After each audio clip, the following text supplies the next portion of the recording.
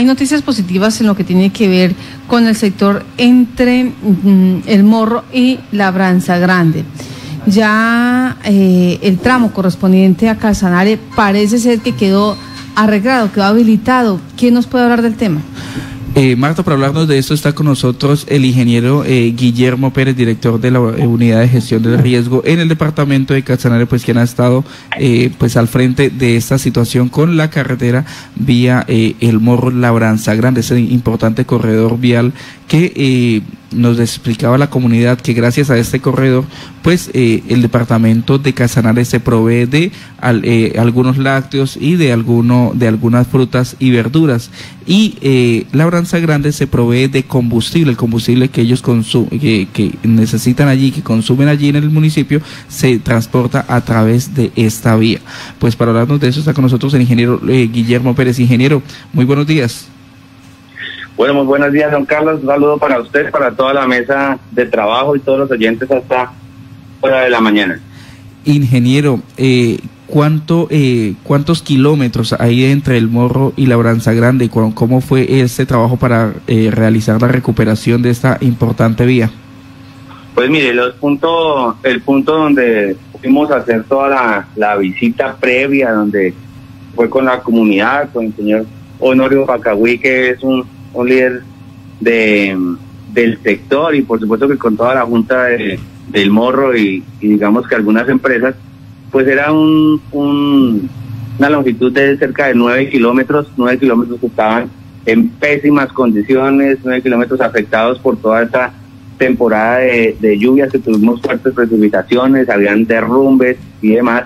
También digamos que se había identificado que en su momento cuando se había hecho el mantenimiento, pues no había un buen manejo de las aguas, lo cual hacía que, pues digamos que el mantenimiento durara mucho menos y digamos que se volviera intransitable para vehículos eh, medianos.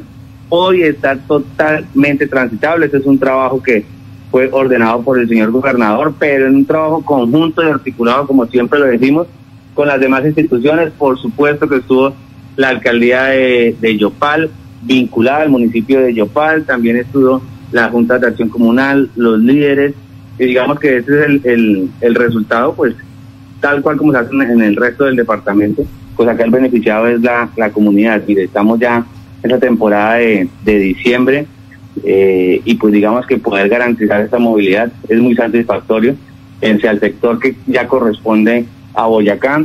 Eh, ellos manifestaban que ya esta semana eh, empezaban los, los trabajos de mantenimiento entonces, cuestión de unas mm, un par de semanas ya queda totalmente habilitado y usted podrá transitar hacia Boyacá por este sector de Morro Labranza Grande. Entonces, pues, es muy muy positivo.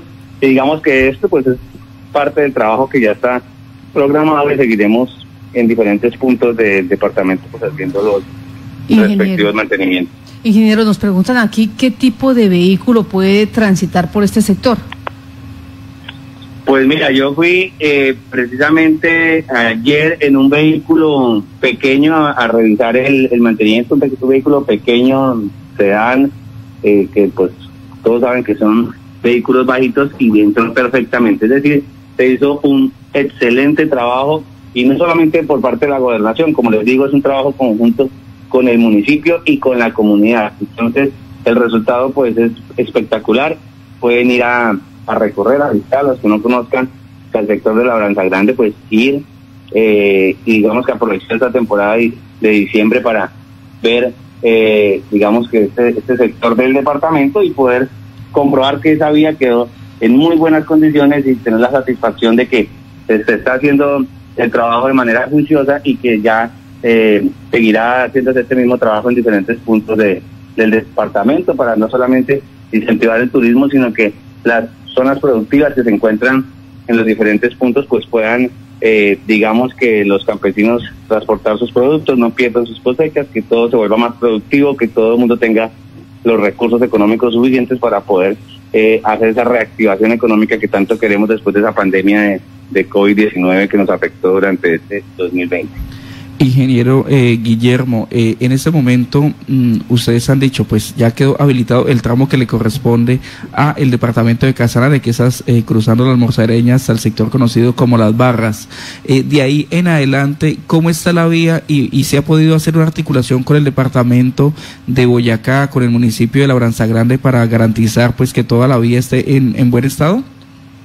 Sí, señor. Este, y, y fue una labor también que se ha hecho desde los líderes comunales, desde la Junta de Acción Comunal de del Morro, donde se han estado muy pendientes y muy atentos, pues son, digamos que los más cercanos a, a, ese sector que se benefician de esta vía, y han estado muy atentos. Entonces, sí, efectivamente, eh, la información es que eh, ya en la próxima semana se van a empezar, esta semana se van a empezar esos trabajos de mantenimiento vial. Así que muy pronto la excelente noticia es que todo el tramo hasta Boyacá va a quedar totalmente habilitado y se va a poder hacer un tránsito en vehículo pequeño, vehículo común, que es, digamos, el que la mayoría tenemos para la movilidad. Otro oyente nos dice la, la situación de seguridad para los viajeros por esta vía en este momento, eh, ¿cómo es?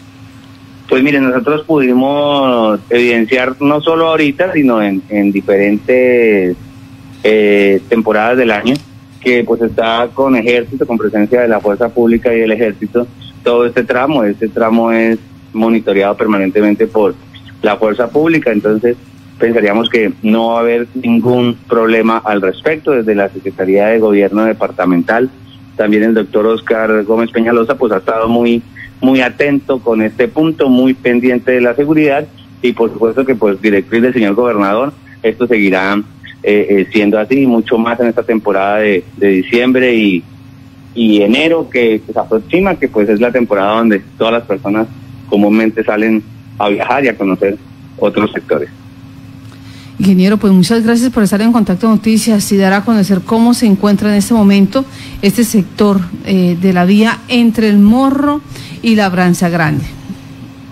Perfecto, claro que sí, como siempre muy atento y muchas gracias por la invitación. Dios los bendiga y, y bueno, muy amables que tengan un excelente día.